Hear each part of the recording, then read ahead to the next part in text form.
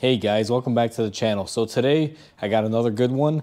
I got a 2008 Honda Odyssey behind me and well, I'm gonna show you what's going on with it. It's a lot easier to show you than tell you. So let's take a look. So what happened to this one guys is this poor lady was uh, driving down on my street here, uh, literally on the main street. And someone came out of uh, an alley or was trying to go into an alley. I'm not exactly sure what happened. And they wound up hitting her in the front.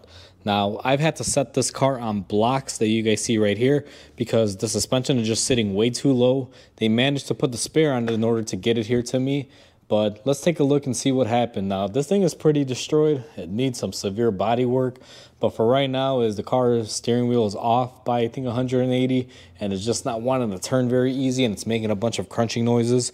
So let's go ahead, get this thing lifted up into the air, remove the tire, and see what's going on.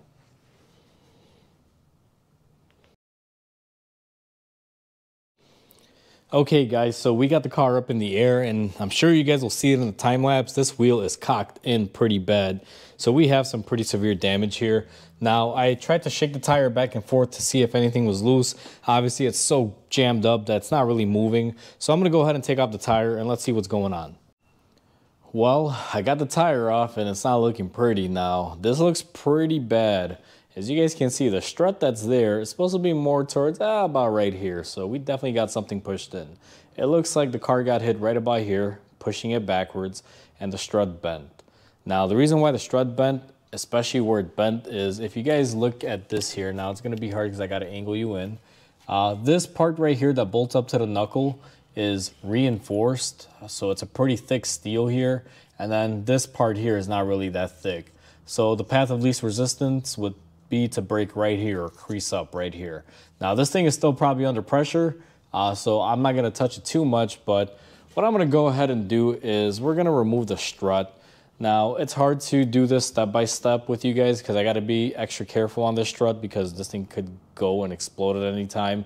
They are under some pressure, um, but just to kind of clue you guys in here, the way I'm gonna do this is I'm going to remove these two bolts here. Um, I don't know how well the camera picks that up. But you got those two bolts right here that I'm going to be remove this one and this one. I'm gonna get this uh, caliper bracket hanger or this caliper line hanger out of the way here, guys. And then what I gotta do back here is remove that uh, stabilizer link, uh, which I do believe mated. We'll check and see if it survived, but even if it did, more than likely it's probably bad. So, you know, we're not too worried about that right now. The main focus that this customer wants is to make sure that the car is able to drive and nothing else is damaged. So let's begin. Uh, the way I'm gonna do this is I'm probably just gonna time lapse it. Um, this is not really a how-to. This is more of like, you know, just showing you what I do here. Um, so this is not really a really good video for referencing how to do this. I'm gonna be just kind of showing you guys real quick and then time lapsing.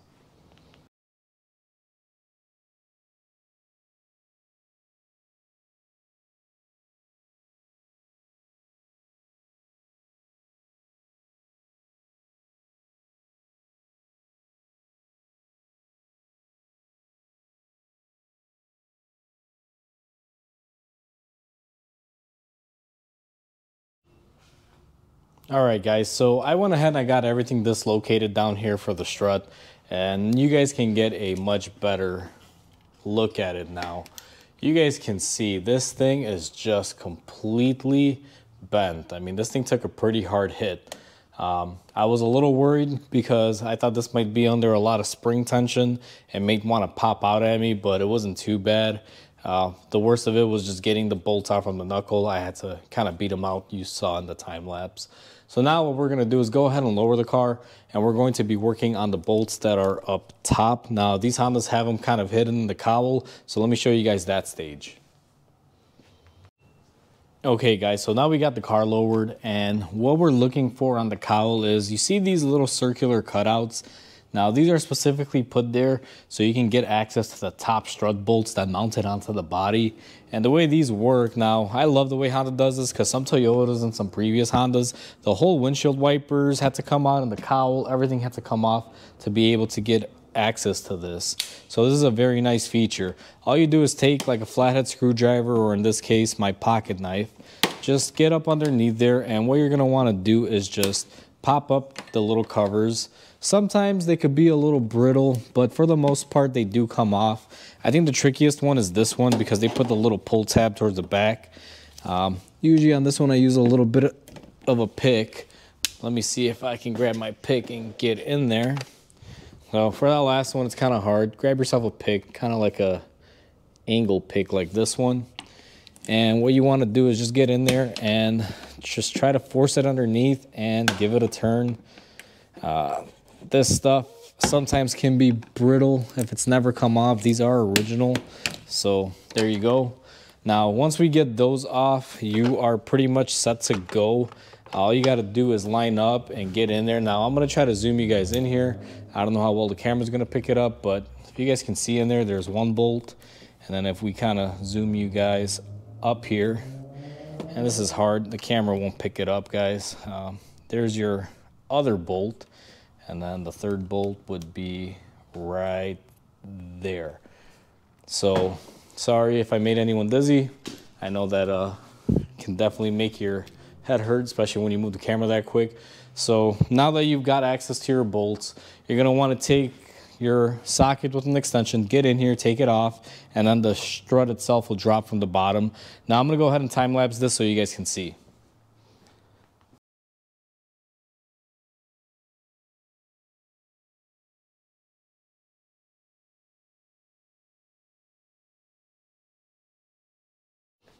All right, guys, so we went ahead and we got our strut off, which is right here, and then here's our new one.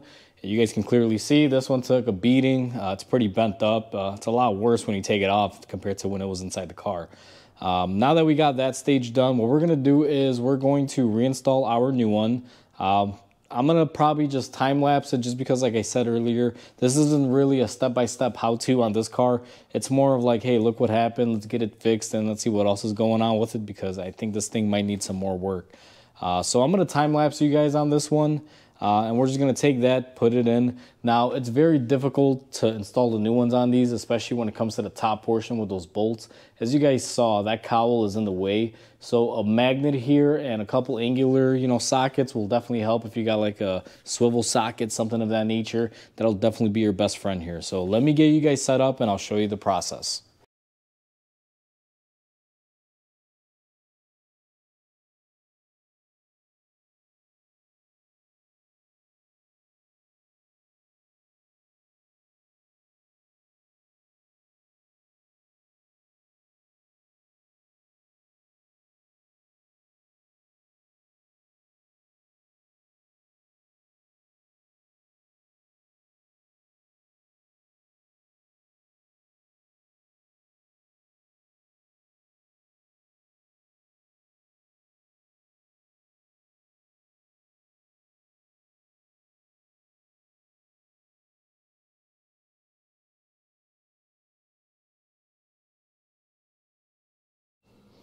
All right, guys, so you guys just saw the time lapse of me installing everything. It went pretty smoothly. It was rather difficult up top. Uh, you got to use a magnet to be able to get them in there. I don't know if you guys kind of saw, I laid the socket down with the bolt as I pushed the strut up and then it laid right on top of the stud and I was able to put it on the first bolt that way. Now, it's best to have two people when you do this because it's very difficult to hold up one hand here and then reach over. But, you know, since I work alone, I've, you know, figured out little tips and tricks and stuff like that to do this by myself. But if you can, have somebody help you when you do this. Um, after I got those top bolts uh, settled in over there. I bolted up my strut to the knuckle, put in my brake hose holder, and I reattached the stabilizer link. So now what I'm gonna do is I'm gonna give it an inspection. I gotta do a couple measurements here now. I don't have an alignment machine at my shop. That would be the best way to do this. What I'm gonna do is I'm gonna take a couple measurements for reference and just kind of see if we possibly have anything else bent. But the only thing the customer wanted me to do was put on the strut and see if it would fix it. Now, it's definitely an improvement because this wheel is back in alignment. And when I move the wheel back and forth, I can kind of see the corresponding wheel on the other side. It does match up. So I'm actually thinking the strut was the worst of it. This thing probably will need an alignment. Uh, I know it needs a stabilizer link, but they have declined to replace it. Uh, they just want to put the strut on it, so there's nothing I can really say or do to that fact. So I was just put the old one back on. I'm gonna check out the rest of the suspension here, make sure everything is good.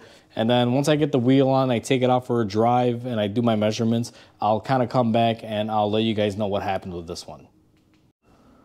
All right, guys, so I got the update on the Honda Odyssey behind me. Uh, after uh, the last clip, I went ahead and I put the tire on. I did a few measurements uh, on the passenger side and I cross-referenced those to the driver's side just to make sure things lined up correctly. Control arm, ball joint, uh, tie rod, everything checks out. Uh, the only thing that it does need is a stabilizer link and the customer is declining to do a stabilizer link on it. So I just went ahead and I used the old one on there, which is kind of uh, funny because it's missing one on the right side. I let the guy know he had no comment on it. He just said, "Hey, I just need the car to run," you know. So that's pretty much uh, my end of the bargain right there. I just put the strut on, and uh, that's what he wants. That's what he gets. I can't really force him to do anything else. Um, I took it out for a test drive after all the measurements, and I put the wheel on, and it actually drives really, really good for a car that you know came in with the tire uh, pushed in all the way. So I'm actually surprised. Uh, I mentioned to the guy he might want to get an alignment. I did notice it has a little bit of a pull, but nothing got bent. I'm assuming when it hit whatever it hit or whatever hit it, uh, it just kind of pushed the alignment off track a little bit. Sometimes that does happen. Uh, I mentioned uh, to the gentleman to take it in to get an alignment. It would probably be best for him. And uh, he just said, okay, sure thing. Uh, if he does it, who knows? Um, so other than that, she's all set. She's ready to hit the road. And I do want to say this, guys. Now, uh, I know a lot of you are probably going to say, well, why don't you replace a stabilizer link and this and that? Uh, the thing is, here in Illinois, they don't really have any laws that you know mechanics can you know make customers or hold their cars if they don't do certain repairs. It's not like New York where you can fail an inspection and then you have to do the work. Here, all they do is checks every two years for smog emissions. There's no real safety inspection, So unfortunately, there are cars like this on the road that are missing pieces. Like this one's missing a stabilizer link. Now that's not really going to hurt anything if it's missing it. It's not equipped on it but there's no real safety check here in Illinois, unfortunately. It is what it is. Um, so with that said, I'm gonna go ahead and ship this car out. Uh, she's all done. I just want to say thank you guys for watching. Hopefully you enjoyed this video. My channel has been growing and I really want to thank everyone out there watching, commenting, liking, and subscribing. It definitely does help. So if you enjoyed this video, please comment, like, and subscribe. It will help my channel grow. Uh, I just want to say hope you guys have a great day and I'll catch you guys on the next video.